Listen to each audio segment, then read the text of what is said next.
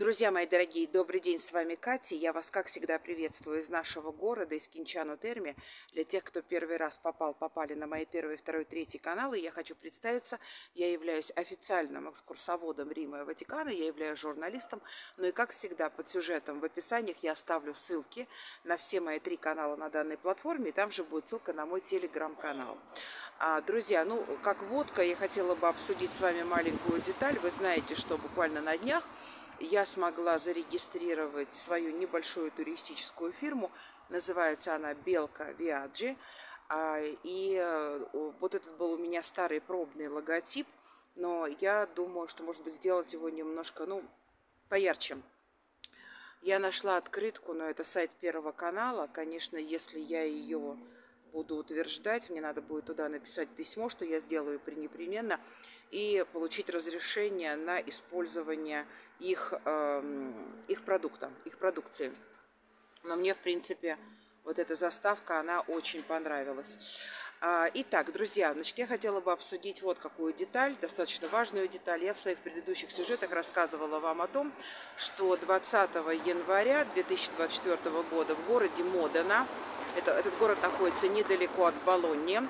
Там должна была состояться вот эта вот выставка по, по, на предмет того, как восстанавливается в данный момент вышеуказанный город. Я собиралась туда поехать 20 числа. Ну и, в общем-то, вдруг приходит такая информация через ассоциацию, что сегодня, через культурную ассоциацию итало-российскую, что сегодня а, должна будет решиться судьба вот этой вот выставки – потому что на мэра очень сильно давят, приходят всевозможные там ноты протеста, и не только всегда это имеет а, дипломатический формат, в том числе и, в общем-то, были такие варварские проявления и по отношению к зданию муниципалитета, и по отношению к вот этому залу, где планируется данная выставка. Ну и, в общем-то, сегодня там у них должно пройти какое-то собрание – и решится вопрос, будет ли проходить эта выставка. Но с другой стороны, сейчас выступают э, культурные ассоциации, выступают эксперты и адвокаты, в том числе, которые считают, что по итальянской конституции люди имеют право на свою точку зрения. Э, мы не должны все иметь общий одинаковый знаменатель, мы имеем полное право, как это было всегда ну, как это было всегда, до вот этого священного ну и потом, когда пошли вот эти самые ложечки за маму, за папу, за дедушку. То есть последнее время, да, в общем-то, люди как-то при, приходят, начинают понимать, и даже многие свыкаться с тем, что мнение должно быть только одно, то, которое продиктовано сверху, а все остальное лучше об этом помалкивать. Это к вопросу о демократическом европейском обществе. Ну, в общем, э, э, вот сейчас в данный момент у них там проходит комиссия, проходят диспуты. И я сегодня утром решила написать письмо. Отправила я мэру Модены. Вот, пожалуйста, это скриншот с его сайта. Там все в открытом доступе. Там имеется mail. На этот mail я написала, проснулась рано, в половине шестого утра, потратила два часа для того, чтобы написать это письмо продублировала, продублировала со своей резервной почты. Пока ответ не получила, но буду надеяться, что все-таки ответит. Письмо написала в очень вежливой форме, само собой.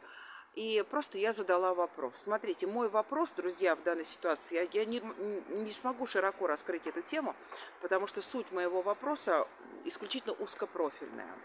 То есть я привела пример, несколько скриншотов я туда отправила людей, которые, вот скажем, из той самой диаспоры, они заняли очень активную позицию для того, чтобы сорвать данное мероприятие. А, и я отправила скриншоты вот э, с их профилей на Фейсбуке. И, извините, пожалуйста, был звонок, пришлось э, прерваться. И вопросы были такие. Э, вот я, я представилась, имя, фамилия, где я проживаю, мой профессиональный сайт, туристическая фирма – мои каналы на данной платформе, Telegram, чтобы они смогли просмотреть и проконтролировать, что я там пишу. Ну, я еще, скажем так, остерегаюсь некоторых провокаций, потому что от моего имени уже были такие случаи, пытались писать. Но это очень быстро, э, это бесперспективно, потому что очень быстро выяснялось.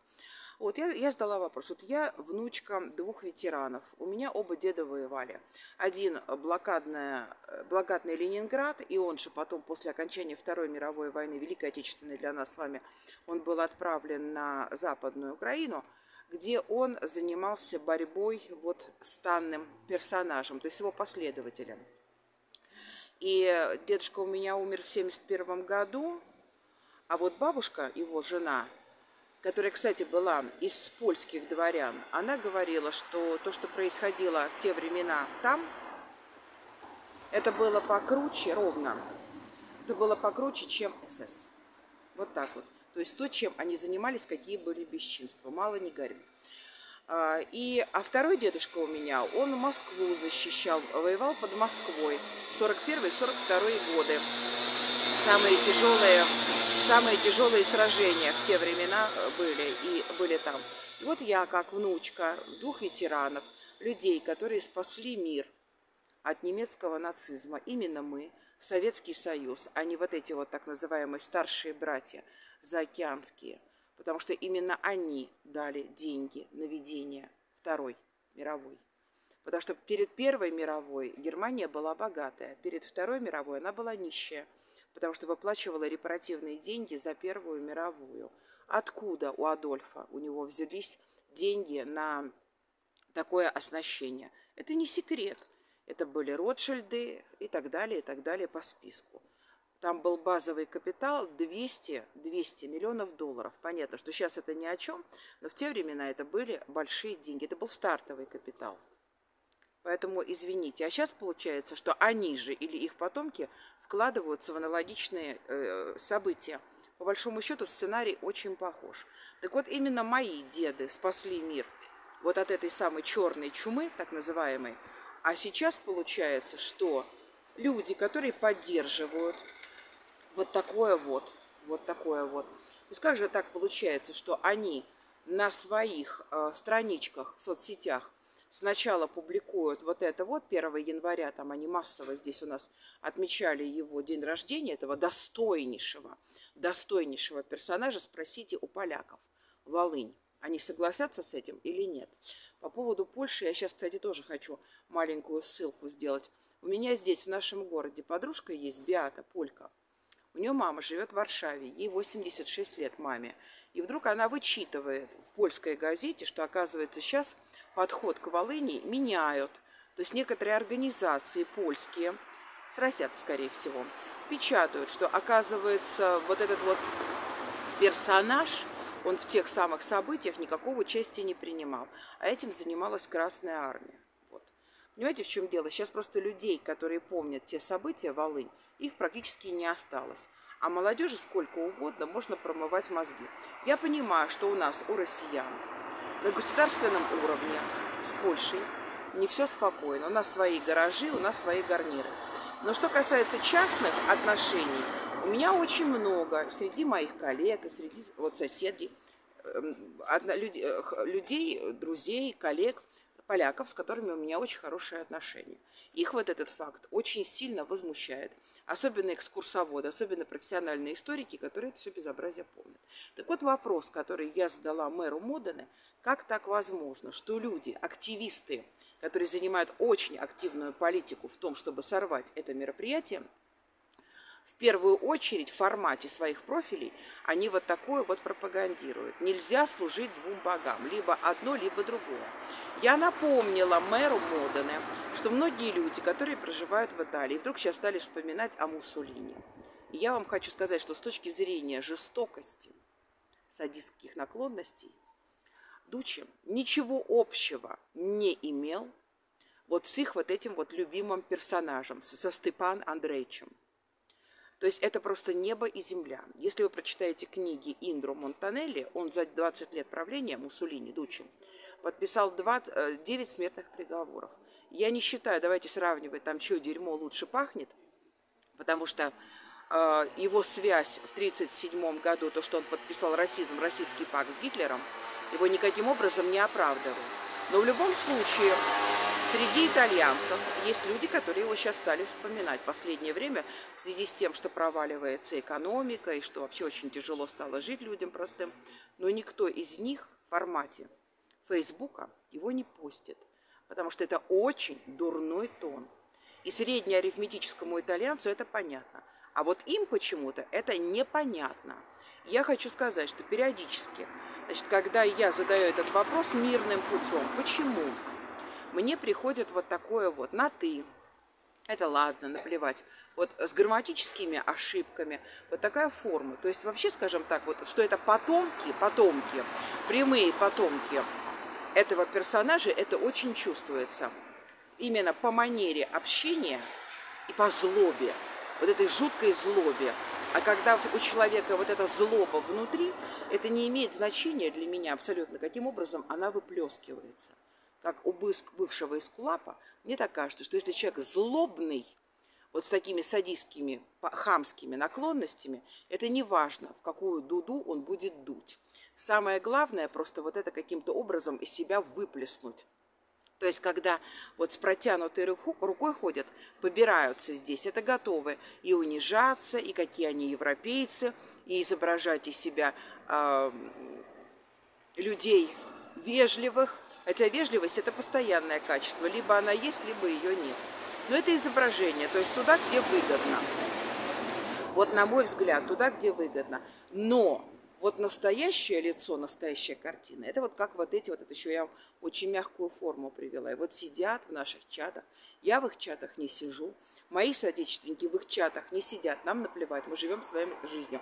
А они все вот надо под контролем держать и вот только и думать, где бы свою вот эту злобу, на кого бы ее излить. Это, я считаю, что абсолютно мое, моя такая позиция, четкая позиция. И вот я задала этот вопрос. Я хочу от него, от мэра Модена, добиться все-таки вот этого ответа. Почему вы позволяете, ведетесь или вы слушаете людей, персонажей, которые постят вот такое вот – я скинула ссылки на Волынь на итальянском языке, в итальянском гугле, все это имеется. Все это имеется, все это в открытом доступе есть. Прочитайте, пожалуйста, если вы раньше это не читали. Почему вы слушаете их мнение, те, которые постят сначала вот этого своего Степана Андреевича, так называемого, а потом требуют отменить мероприятие. Мирное мероприятие, спокойно. Просто, э, скажем так, которое было организовано людьми, которые имеют другую точку зрения. Только этот вопрос. И я жду ответ на него, на этот вопрос.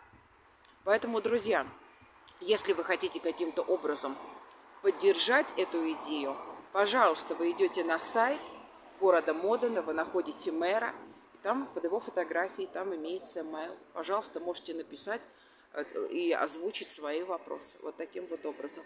В любом случае, я хочу сказать, что если это э, будет отменено, мероприятие, ничего хорошего, это, ну, скажем так, ну, мэр понятно будет, что на него давят, он боят, бои, боится высказать свое мнение. Может, даже он думает по-другому, но попробуй вякни, потому что не те времена. И у людей, которые это организовывали, именно у самих итальянцев, это будет вызывать тоже особенное негодование, что как будто бы уже не у себя дома.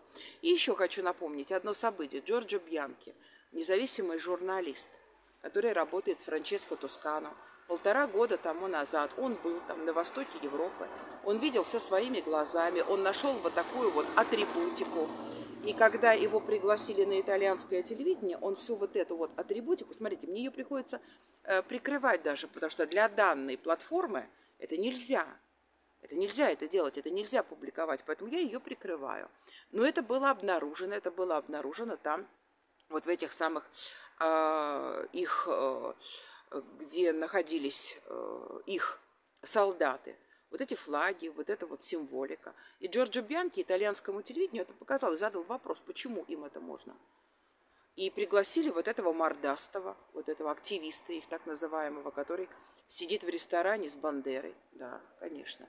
И он, значит, типа, это не важно, это не имеет значения. Как это не имеет значения? Это запрещено в Европе, это запрещено. И вот этот вот мордастый, там, я не помню его имя, фамилию, мне абсолютно наплевать, то есть не перегружая даже свою память лишней информации. Он учил Джорджо Бьянки, который живет у себя дома в Италии, как ему жить и как ему себя вести. Вот это вот, я считаю, самая настоящая наглость. Кстати, итальянское телевидение мордастому задавало вопрос. А действительно, почему вот это все используется в открытую? Вот для меня, друзья, у меня этих вопросов нет. Потому что то, что происходит сейчас на, на востоке Европы, это своеобразная производная того, что мы уже имели 80 лет тому назад в Германии. Но дело в том, что вот этот вот дух Бисмарка у немцев тогда, вот они сыграли на духе Бисмарка, сейчас он у них затоп, его затоптали полностью, дух Бисмарка, им э, с детства их приучают всего стыдиться, поэтому духа Бисмарка нет. Ну вот нашли другой дух, Степана Андреевича. Только с Бисмарком это тоже никаким образом сравнить невозможно. И все это культивируется и прорастается. Поэтому вот моя, это мой вопрос. Мой вопрос, почему вы слушаете, еще раз подчеркну, людей, которые ходят вот с такой символикой, которые в соцсетях вот такое вот публикуют и не стесняются этого всего. Но при всем при этом они там за какую-то правду срывают выставки. Какая связь? Друзья, все здесь. Спасибо вам большое, что смотрите. Я вас очень люблю. И мы с вами увидимся в следующий раз. Друзья, я записываю по скриптам, потому что пока я записывала вот ту часть сюжета, которую вы только-только просмотрели, мне кажется, очень видите, быстро, очень быстро, оперативно мне пришел ответ из муниципалитета Модены. Я не могу обнародовать это письмо, очень мирно было написано, очень мирно, очень доброжелательно. Но вот это письмо, ответ, который я получила, мне позволило э, в муниципалитет позвонить. Я выкладываю скриншот. Мы проговорили 12 минут. Вот, пожалуйста. Со мной разговаривала девушка, женщина, сотрудница муниципалитета. И э, я попросила ее вот в режиме онлайн – просмотреть вот те профили, о которых э, я рассказывала в первой части сюжета, странички на Фейсбуке, кто такой вот этот вот Степан Андреевич, э, через итальянский Google, потому что ссылки, которые я отправляла через итальянский Google, Волынь, Волынь, я отправила туда фотографии. Да, она охала и ахала.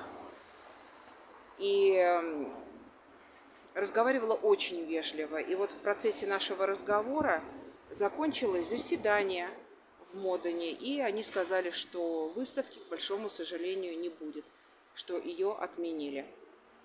Ничего не поделаешь. Я не считаю, что необходимо расстраиваться по этому поводу, потому что люди, нормальные люди, они прекрасно понимают, когда их нагибают, и никому не хочется – чтобы нагибали, потому что люди все-таки привыкли жить по другому формату. И я считаю, что, конечно, в этом есть определенный минус, что выставка не состоится. Но вы знаете, как две разные стороны одной и той же медали. Все равно люди, которые работают в муниципалитете, на мой взгляд, они автоматически встают на ту сторону, которая, ну, скажем так, пострадала. Я не могу сказать, что пострадала. Но, наверное, конечно, активисты, которые занимались организацией этой выставки, они пострадали, потому что они вкладывали силы, свои возможности, ресурсы. Да, это неприятно. Но, с другой стороны, сами сотрудники внутри себя, я понимаю, что сейчас высказывать это свободно нельзя, но они приходят к определенному выводу. 12 минут мы проговорили. Она просмотрела ссылки и сказала, боже ты мой, боже ты мой. Просмотрела профили вот этих самых людей, которые, между прочим, отказались от своего гражданства для того, чтобы получить итальянское. Интересные времена. В любом случае, нормальных людей их тянет э, всегда к нормальным людям, к спокойным людям, а не к агрессорам. По всей вероятности, ну вот опять же я апеллирую разговором, они там получали, огребали. И огребали, будьте вам любезны, не деликатный, интеллигентный разговор, а в том числе и угрозы, и все остальное, то, что сопутствует угрозам. Ничего, жизнь все расставляет на свои, э, на свои места. Потому что вот, так, вот такое неестественное положение, в неестественном положении, люди долго пребывать э, не могут потом формируется какое-то определенное отторжение. Все будет в порядке. Человеческая природа, она всегда возьмет свой верх. Спасибо вам большое, что смотрите. Я вас очень люблю. И мы с вами увидимся в следующий раз.